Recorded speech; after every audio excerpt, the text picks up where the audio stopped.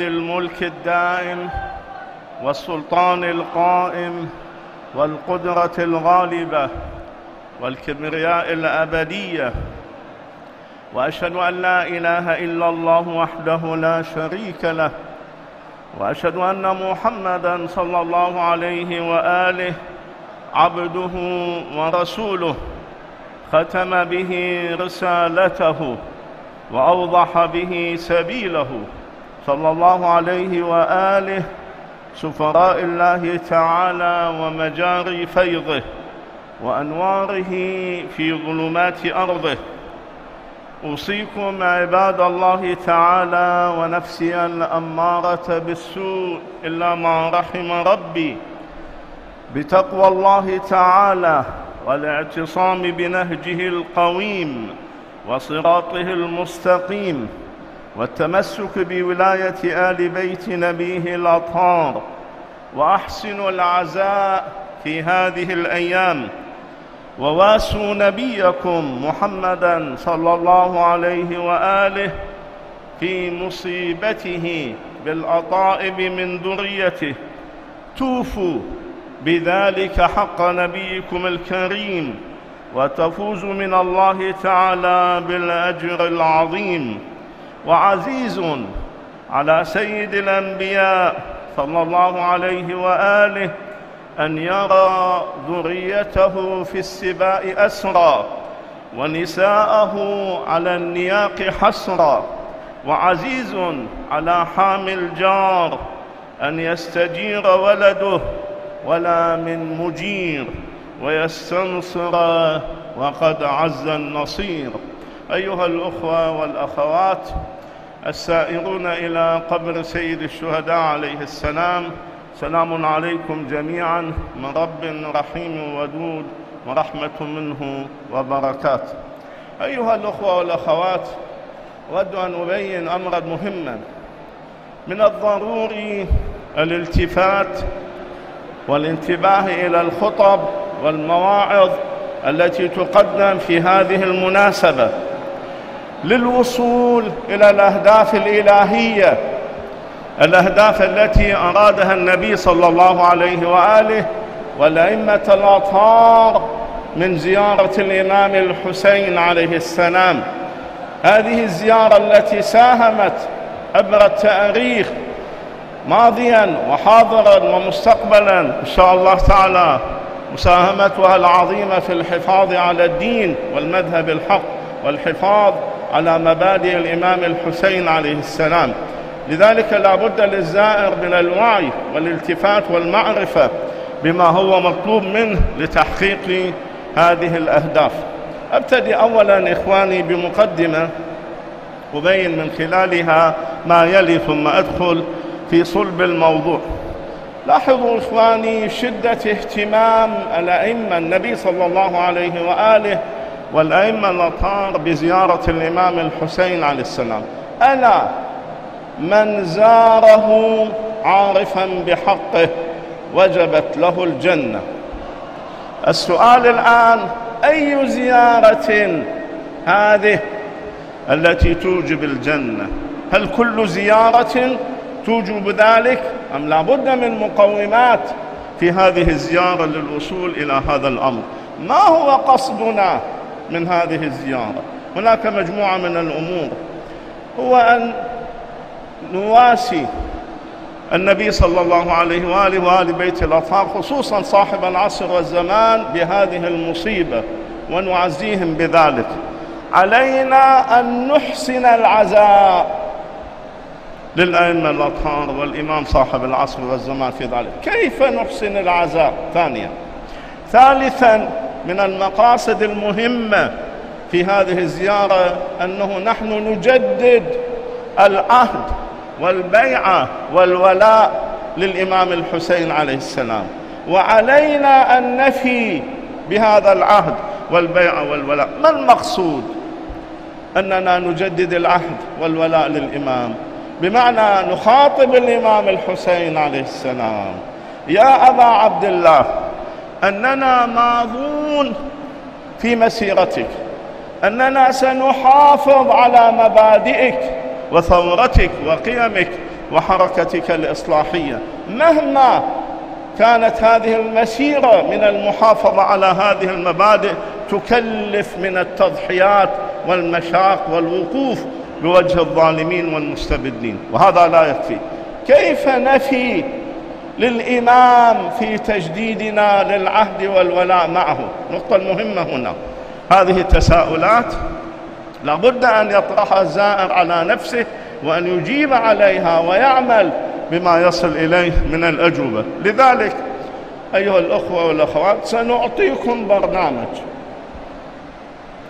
كل واحد يريد أن يصل من خلال زيارة الإمام الحسين عليه السلام إلى أن توجب له الجنة. سنعطيكم من خلال الخطبة الأولى والثانية برنامجا. إن عملتم به ابتداء ثم أثناء الزيارة ثم انتهاء إن شاء الله تعالى ستكون الجنة لكم.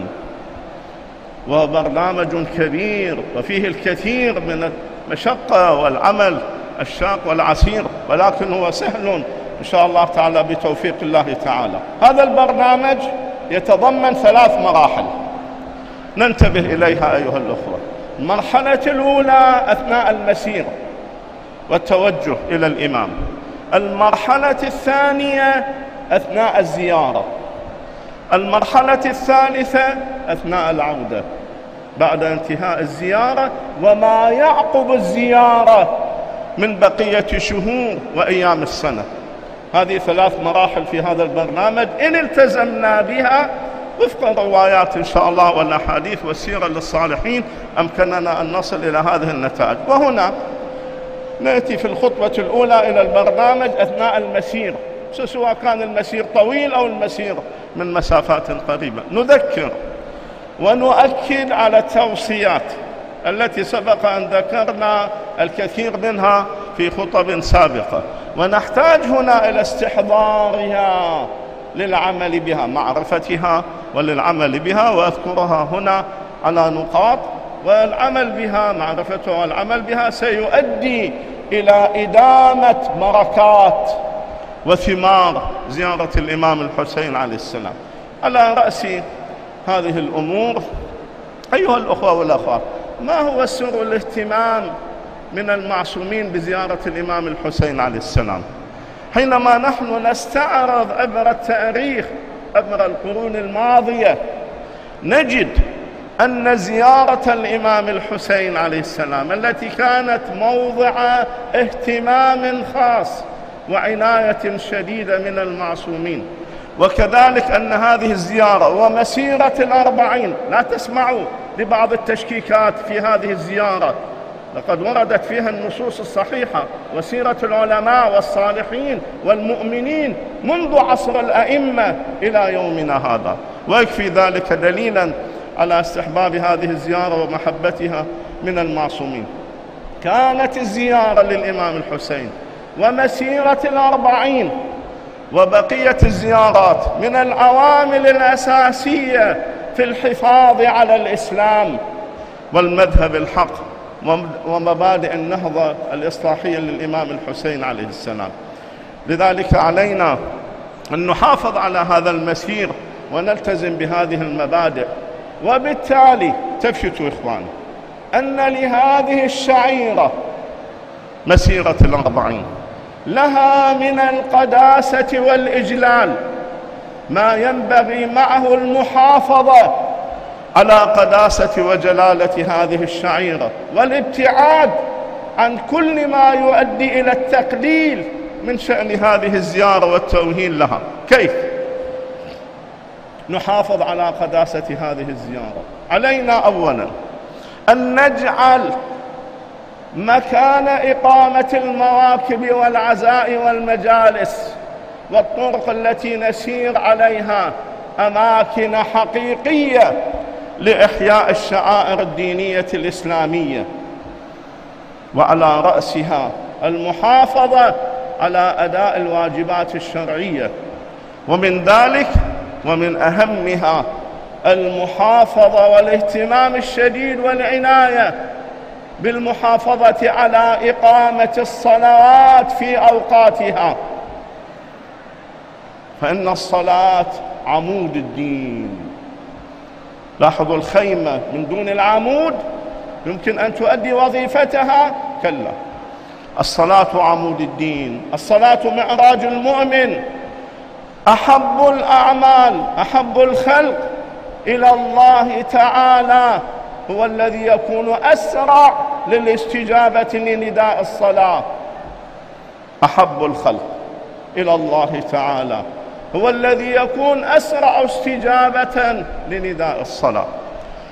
وبقية الواجبات الشرعية علينا أن نحافظ عليها ونؤديها بالوجه الذي يحبه الله تعالى. واحد. ثانيا السلوك والأخلاق.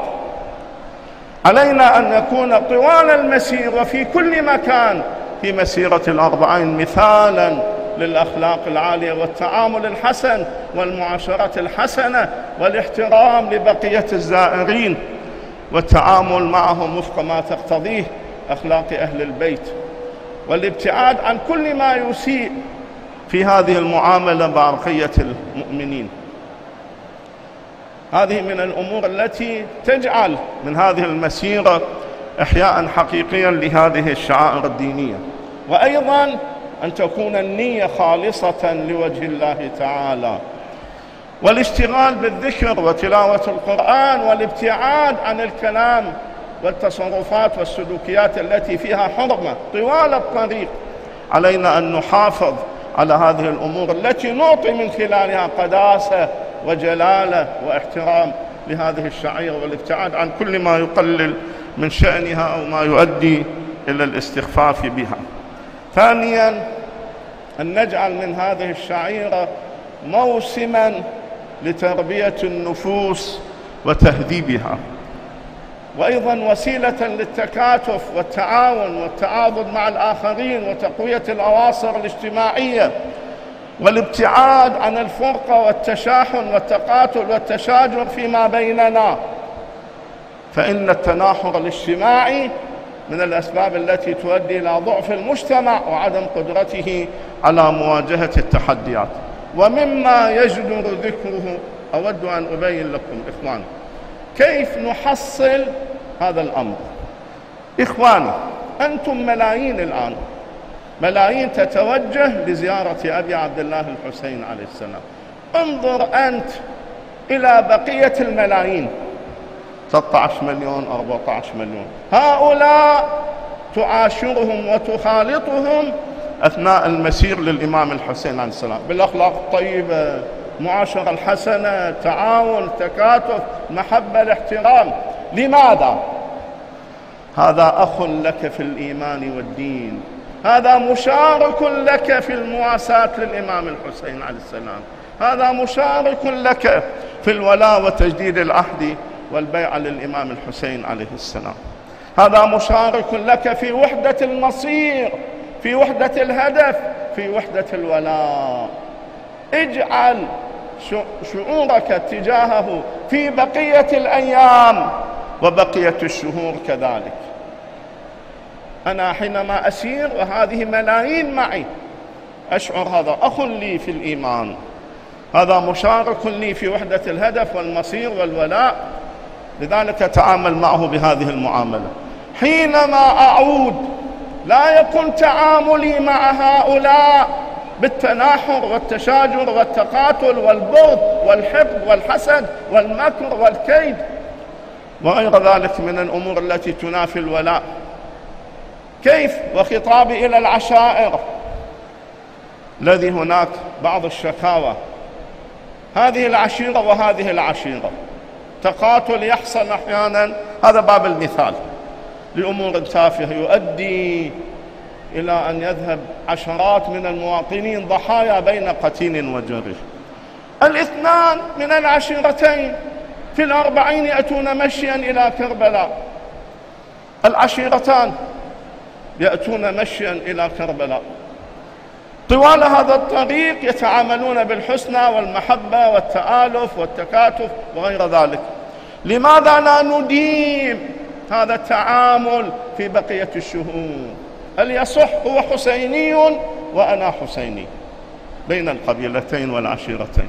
هل يصح أثناء المسير أن أنظر إليه؟ على أنه موالي أخي لي في الإيمان مشارك لي في الهدف والمبدأ. ثم إذا عدت إلى مدينتي وإذا أنا أتقاتل وأتشاجر وأتنازع معه وأتقاتل معه حتى تذهب الدماء ضحية هذا التقاتل والتشاحن والتصارع هذا ينافي الحسينية الصادقة.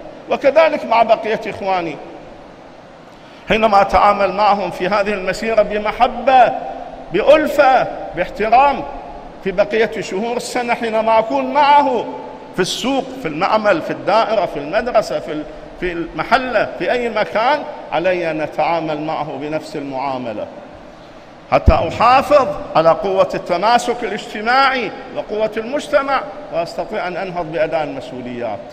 هذه هذا الولاء الحسيني الحقيقي الذي علينا أن ننتبه. وإذا عدنا هذا الذي أذكره إذا عدنا إلى بيوتنا وإلى مدننا نحافظ على هذه المبادئ التي نعمل بها. أيضا من الأمور المهمة علينا أن نتذكر أن المعزى نعزي نحن في هذه المناسبة.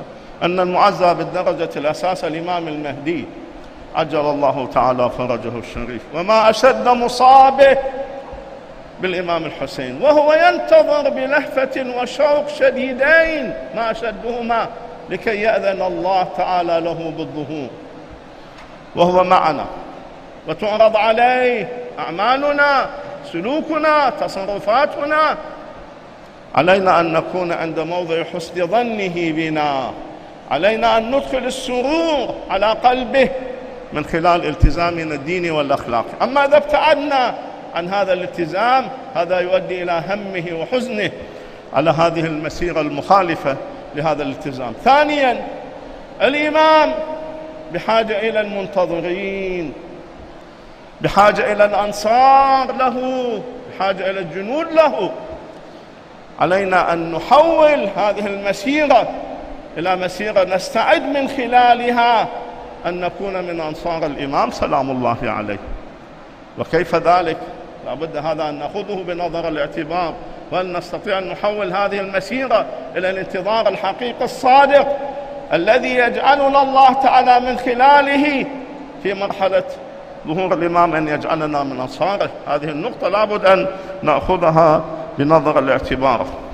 أيضا من الأمور المهمة كما تعلمون إخواني ينتشر على طول الطريق في المسير إلى الإمام الحسين عليه السلام المحطات التي يتواجد فيها المئات من الفضلاء والمبلغين وطلبة الحوزة العلمية.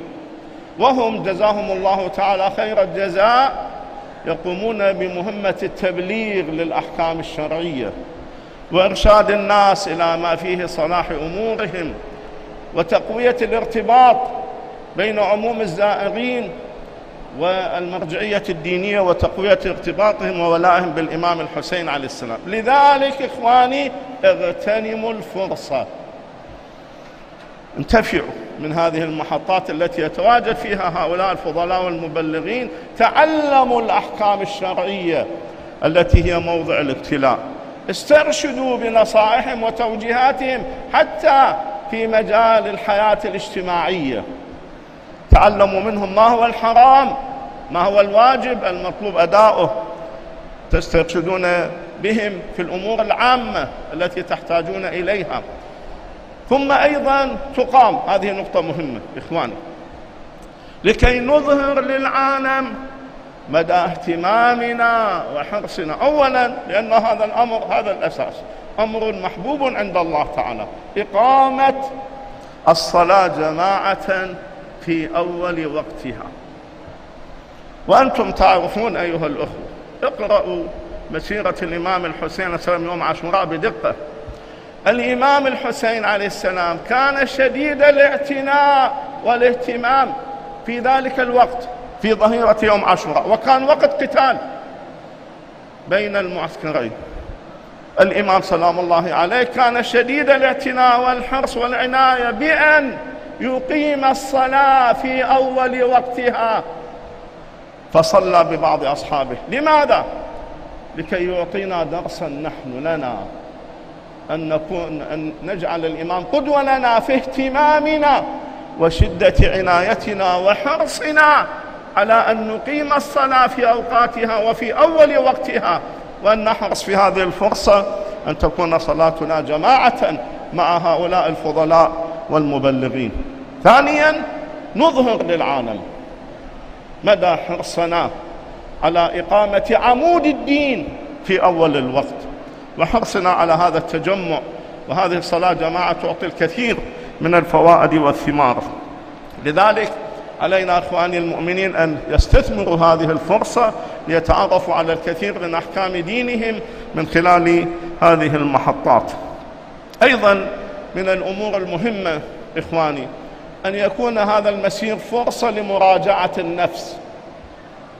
إخواني المطلوب الإنسان الزائر حينما تدخل إلى مرقد الإمام الحسين عليه السلام عظمة الطهر هنا طهارة القلب طهارة النفس طهارة الجوارح. أنت إذا أيها الزائر أيتها الزائرة إذا أردتم أن تأتوا إلى الإمام الحسين وتحضروا بين يديه في الزيارة احرصوا على أن تكونوا طاهرين لأن الإمام يمثل القمة في الطهر والسمو في هذا الطهر. أولا طهارة القلب راجعوا قلوبكم ابحثوا في قلوبكم. عما لا يحبه الإمام الحسين عليه السلام. حاولوا أن تجعلوا قلوبكم سالمة طاهرة من الحسد والغل والبغض والحقد والكيد والتآمر والمكر وغير ذلك من الصفات الذميمة التي لا يحبها الإمام. سلام الله عليه. ثانيا احرصوا على سلامة جوارحكم. اجلسوا تأملوا تفكروا في قلوبكم وفي أعمالكم وجوارحكم وسلوكياتكم. اعزموا أثناء المسير. اعزموا. يا إلهي يا أبا عبد الله أنا أعدك أنني إن شاء الله بهذه الزيارة سأحاول أن أطهر قلبي من الحسد والتكبر والعجب والغرور والغل والحقد والمكر للآخرين. وأعهدك يا أبا عبد الله أن أطهر عيني نظري سمعي يدي رجلي جوارحي أن أطهرها من المحرمات. هكذا يريد الإمام الحسين عليه السلام. عاهدوا الإمام أعزموا على هذا الأمر ثم أتوا إلى قبر سيد الشهداء عليه السلام. وهكذا بقية الأمور المحرمة. ثم بعد ذلك حينما تعودون تذكروا هذا العهد مع الإمام الحسين عليه السلام وحاولوا الوفاء به. من الأمور المهمة أيضا هذه الزيارة تشهد توافد الملايين من المحبين للإمام الحسين عليه السلام من غير العراقيين ومن جنسيات مختلفة. احرصوا أيها الزائرون أيتها الزائرات على أن تظهروا وتجسدوا خلق الإمام الحسين عليه السلام مع هؤلاء الزائرين. اظهروا لهم المحبة والمودة والاحترام والصبر والتحمل والتساهل معهم السعي في قضاء حوائجهم وتقديم الخدمة لهم بأفضل وجه. ابتعدوا عن أي تصرف يسيء إليهم. من التعامل بخشونة أو فظاظة أو عدم السعي في قضاء حوائجهم. هؤلاء قطعوا آلاف الكيلومترات لكي يصلوا إلى الإمام الحسين عليه السلام. بعضهم من الفقراء الذين لا يملكون شيئا لسد حاجات يومهم جمعوا الأموال طوال سنين لكي يصل إلى مرقد الإمام الحسين عليه السلام. كيف ينبغي أن نتعامل معهم؟ نحن المجاورون والقريبون من الإمام الحسين عليه السلام. كيف ينبغي أن تكون أخلاقنا معاشرتنا تعاملنا مع هؤلاء الزائرين الذين هم من جنسيات مختلفة. علينا أن نبتعد عن كل ما يسيء إلى سمعة أبناء هذا المذهب وسمعة أبناء هذا البلد في أي تعامل يقدح بصفة الخلق الحسيني. وهذا كلامي موجه إلى الزائرين عموما إلى أصحاب المحلات إلى أصحاب الفنادق إلى أصحاب البيوت إلى أصحاب المواكب جميعا. احرصوا على أن تعكسوا السمعة الطيبة للذين يكون بجوار الإمام الحسين عليه السلام. وكلامي الآن مع المرأة الزينبية. لا شك أن مشاركة النساء المؤمنات الزينبيات في هذه المسيرة خلال هذه السنة والسنوات السابقة مشاركة عظيمة وكبيرة لماذا؟ أيضا للعزاء مشاركة في المواساة مع زينب عليه السلام على المرأة المؤمنة الزارة أن تحسن العزاء لزينب سلام الله عليه وتجدد الولاء والعهد معها أنها ستسير على مبادئها وخلقها وأدائها لهذه الرسالة كيف؟ عليها أن تجعل تنتبه الآن المرأة الزائرة. تجعل زينب عليه السلام القدوة والمثال الأعلى لها. في الحفاظ على التزاماتها الدينية. في الحفاظ على حجابها عفتها كرامتها. الابتعاد عن الأمور القادحة بالحياء والأدب الإسلامي. عليها أن تراجع نفسها. أيتها الزائرة المؤمنة زين في الطريق اجلسي تفكري. هل ربما ظلمت زوجك؟ هل ربما تعاملت معه بسوء؟ هل زوجك راض عنك أم لا؟ الإمام قبل ذلك الإمام راض عنك أم لا؟ أخلاقك كيف هي؟ معاشرتك في داخل البيت كيف هي؟ حرصك حرصك على رضا زوجك وتربية الأولاد كيف هو تعاملك مع بقية أفراد المجتمع؟ كيف هو حرصك على الحجاب والعفة ليس فقط في أيام الزيارة بل في بقية الأيام. راجعي نفسك في ذلك. راجعي ما في قلبك من المشاعر والأحاسيس. راجعي ما, ما أنت عليه من التصرفات والأفعال والسلوكيات. ربما هناك ظلم لزوجك ربما هناك معاشرة سيئة مع الزوج. ربما هناك تقصير في تربية الأولاد. ربما هناك معاشرة سيئة مع بقية نساء المجتمع. حينما تأتينا إلى الإمام الحسين عليه السلام هكذا زينب لا ترضى عليه السلام. الإمام الحسين لا يرضى. لذلك على الزينبية أن تلاحظ هذه الأمور لكي تكون صادقة في عزائها ومواساتها وسيرها على طريق زينب عليه السلام. من الأمور المهمة أيضا علينا أن نستذكر الشهداء. والجرحى هؤلاء الأبطال المجاهدون الذين كانوا السبب في حفظ هذه المسيرة أمام أعداء الدين. علينا أن نستذكر مواقفهم نتعلم منهم. كيف وصلوا إلى هذه المرتبة؟ الله تعالى لا يعطي لكل أحد مرتبة الشهادة. هناك البعض ممن يختارهم. هؤلاء لهم مبادئ مواقف قدموها سابقا حتى نالوا هذه المرتبة وهذا المقام. من حقهم ومن حق مبادئ الإمام الحسين سنفوت الإمام الحسين نستذكر هؤلاء الشهداء نستذكر سيرتهم مبادئهم تضحياتهم ونحاول أن نسير عليها ونحيي سيرة هؤلاء ومواقف هؤلاء لكي تبقى هذه المسيرة إن شاء الله تعالى مستمرة. من الأمور التي نذكر بها أيضا من الضروري التعريف بالقضية الحسينية للعالم. توظيف وسائل الإعلام خصوصا وسائل التواصل الحديثة من الفضائيات ووسائل التواصل الاجتماعي من الفيسبوك وغير ذلك. أي شيء نبرزه ونظهره للعالم من خلال هذه المسيرة. هناك صفات إنسانية عظيمة هناك خصال حميدة في هذه المسيرة من تحمل المشاق والتعب.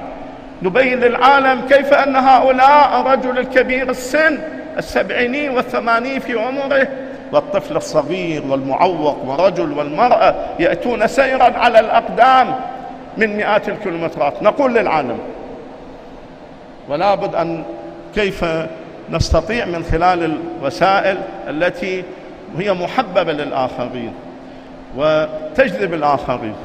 نبين لهم هذه القيم الحسنة ونجعل من خلال هذه الوسائل. انظروا أيها العالم هذه الملايين. ما الذي يدفعها أن تتحمل هذه المصاعب والمشاق لآلاف الكيلومترات؟ هذا الحب العظيم للإمام الحسين عليه السلام. ما الذي يدفع هؤلاء والكثير منهم فقراء أن يجودوا ولديهم هذا العطاء والجود والسخاء في أن يبذلوا كل شيء للزائرين؟ ما الذي يدفعهم للتحلي بهذه القيم في هذه المسيرة؟ هذه صفات إنسانية عظيمة. علينا أن نبرزها للعالم ونعرف بهذه المبادئ المتجسدة ونبعد هذه وسائل التواصل والإعلام عن كل ما يسيء إلى هذه الشعيرة المهمة. وما هي آثارها وغير ذلك. علينا أن نعتني بهؤلاء الضيوف. نحاول أن نستقطب من وسائل الإعلام والرجال الذين لهم تأثير في بقية العالم. نحاول أن نستقطبهم إلى هذا المكان ونعرفهم بهذه القضية الحسينية. والآن تعرفون بعض وسائل الإعلام العالمية تبين أن أكبر تجمع بشري في العالم الآن هو مسيرة الأربعين. الذي يجعل هذه الملايين تتوافد إلى قبر سيد الشهداء. هذا نركز عليه ونبينه ونبين هذه الصفات الحميدة أيضا. أيضا المأمول من الأخوة الزائرين الكرام التعاون مع الأجهزة الأمنية والأجهزة الخدمية والحفاظ على النظام العام والحفاظ على الخدمات العامة. هذه الخدمات العامة لكل الناس علينا أن نحافظ عليها. الإضرار بها في الشوارع والأرصفة وقلع الأشجار يتنافى مع المبادئ التي يريدها منا الإمام الحسين عليه السلام. هذا برنامج لبعض المقومات المهمة التي علينا أن نستذكرها في أثناء الطريق. الآن وصلنا إلى الإمام الحسين عليه السلام.